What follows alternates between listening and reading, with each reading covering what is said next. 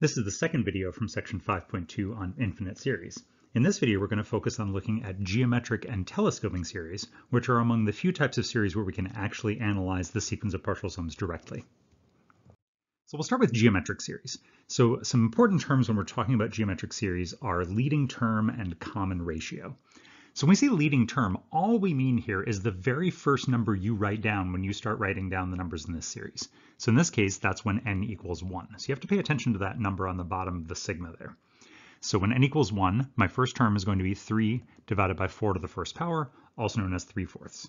So a here, which is the typical letter that we use for our starting term, is 3 fourths. Now, if we keep writing terms, we get 3 over 4, 3 over 4 squared, 3 over 4 cubed, 3 over 4 to the fourth, and so on.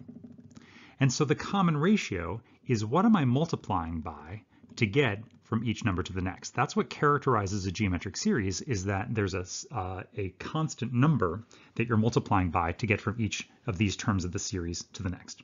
So in this case, what you can hopefully tell is that the top of my fraction is staying 3 the whole time, but the bottom of my fraction is getting multiplied by 4, which means my common ratio is 1 fourth. Each term of this series is getting multiplied by 1 fourth to get the next term of the series. And what we know about geometric series is that these geometric series converge if the absolute value of r is less than 1. And it diverges otherwise. It diverges if the absolute value of r is greater than or equal to 1. So in this case, r is 1 fourth, and the absolute value of 1 fourth is 1 fourth, and that's less than 1. So this one is going to converge. And it converges to the formula a divided by 1 minus r. So in this case, I have 3 fourths divided by 1 minus 1 fourth. That's 3 fourths divided by 3 fourths, also known as 1. So this converges to the number 1. Here's another geometric series, a little bit more complicated. First thing to notice is that this series starts at m equals 2, which is certainly allowed. And so when we get that, the top of my fraction is going to be 5, 5 to the 2 minus 1, 5 to the first, which is 5. And on the bottom, I have 3 to the fifth. 2 times 2 is 4, plus 1 is 5, and 3 to the fifth is 243. So that is my first term of my series. So my leading term A is 5 divided by 243. But to figure out whether, whether or not the series converges, I need to figure out R. So what is happening from each term to the next? Well, I'm going to rewrite these terms with exponential notation to try to help me understand what's going on. So rather than calling this just 5, I'm going to call it 5 to the first.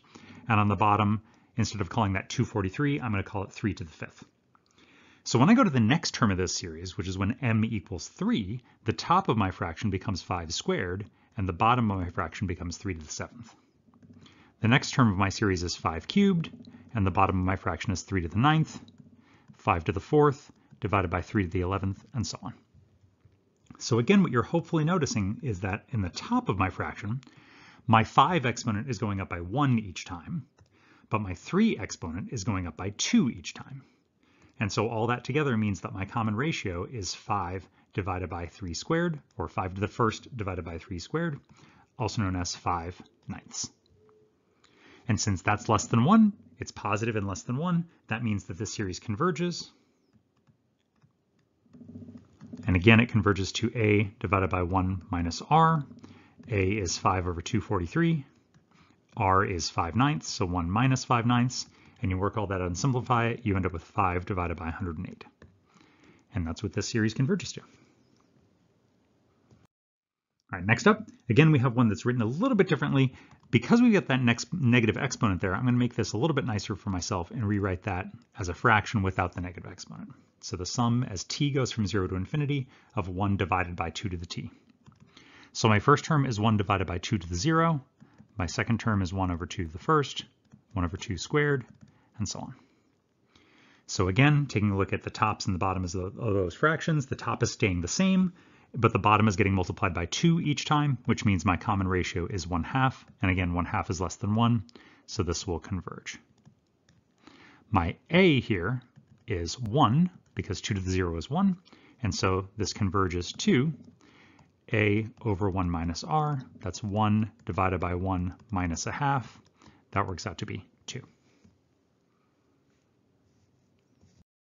All right, one last one here. Here it's not written in sigma notation, but we can still identify that this is a geometric series.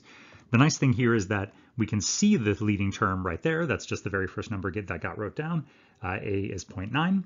And then what's the common ratio? What do I multiply by 0.9 to get 0.09? Well, one of the ways to think about how to figure that out is to think, well, whatever the ratio is, when I multiplied it by 0.9, I got 0.09. And when I multiplied it by 0.09, I got 0.009. So I should be able to solve any of these equations to figure out what r is. And so if I take r and multiply both sides, or divide both sides by 0.9 here, I end up with r being 0.1. And same thing here. If I divide both sides by 0.09, careful with my decimal places, I end up with r equaling 0.1. So that's my common ratio.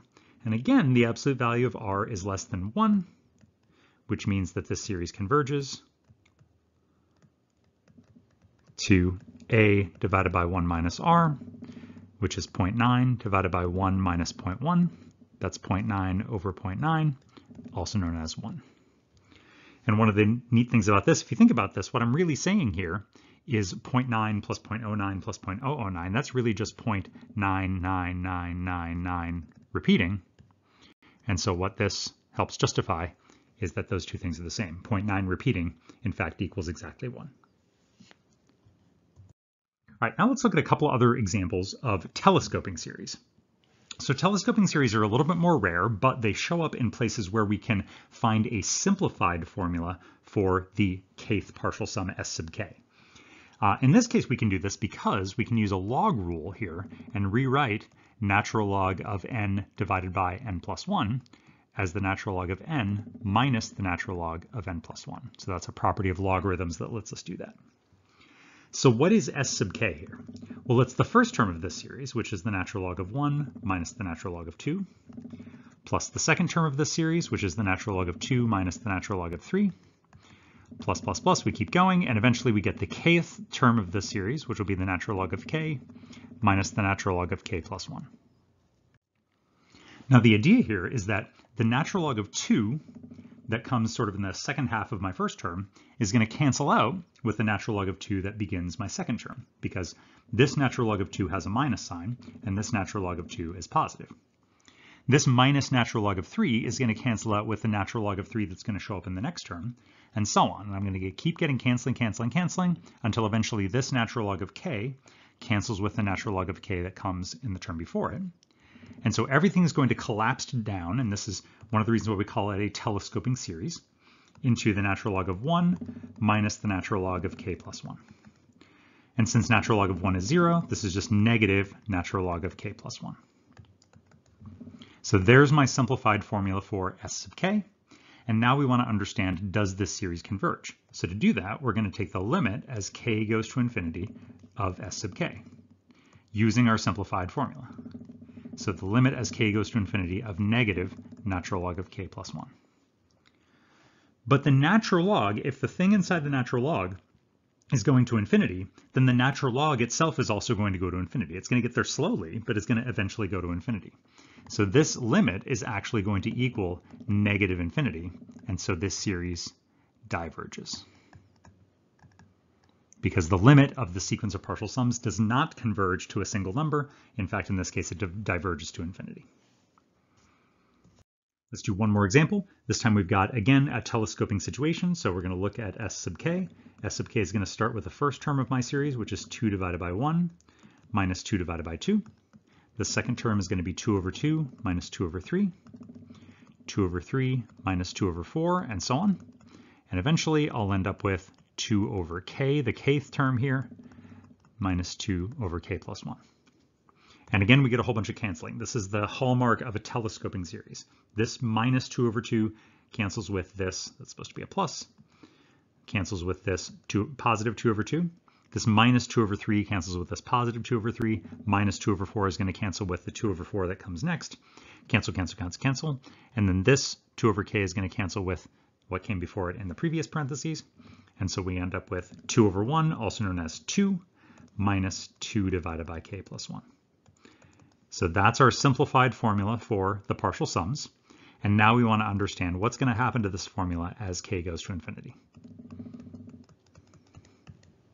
Well, this time we get a fraction that's going to go to zero because the bottom of that fraction is going to infinity. And so we get 2 minus 0, also known as 2. So since that limit, since the limit of the sequence of partial sums converges, we say that the series converges and that the sum of the series is 2. So again, we can't actually add up infinitely many terms here, but if we could, we would get a sum that's getting closer and closer and closer to 2 the more of these terms that we add. So what we're going to start learning in the next section is that this technique of directly analyzing the sequence of partial sums doesn't really work very often. But we have a large uh, collection of tools that we can use to apply to different series to nevertheless figure out whether or not they converge.